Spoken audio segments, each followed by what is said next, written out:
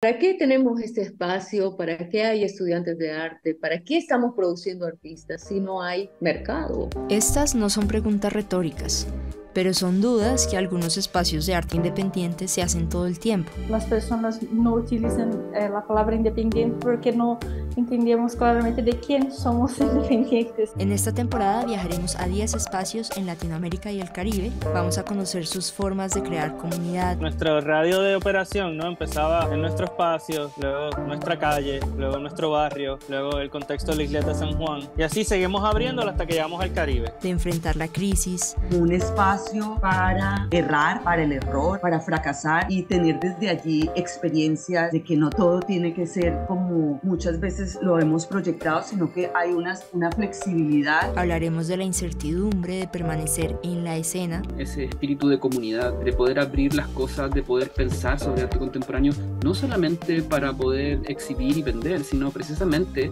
abrir el lenguaje del arte y entregarse a producir, a veces con la inseguridad, a veces con los fenómenos que estén sucediendo en la contingencia. De cómo sacudir la solemnidad de los espacios. En el ámbito de arte y cultura, que a veces se entienden como espacios muy serios, como solemnes o muy académicos, parte del éxito pues tiene que ver esto, humanizar la experiencia del arte, hacerla divertida, que no tengamos ninguna vergüenza de, de disfrutarlo, de compartirlo. De cruzar las fronteras del circuito. Toda persona tiene algo que ofrecer. Y en ese sentido, pues eso, por ejemplo, nos ayuda mucho a abrir puertas a intervenciones de, pues, de la comunidad inmediata, de los vecinos del espacio y de gente que no necesariamente participa del mundo del arte. Y tejer puentes en el territorio. Y que el arte sea accesible para todos. Nosotros estamos proponiendo crear puntos como ecomuseos, jardines de esculturas en la Amazonía. En el fondo, estos organismos culturales mutan todo el tiempo y cambian de piel. Yo creo que lo que transforma el pilar de Caníbal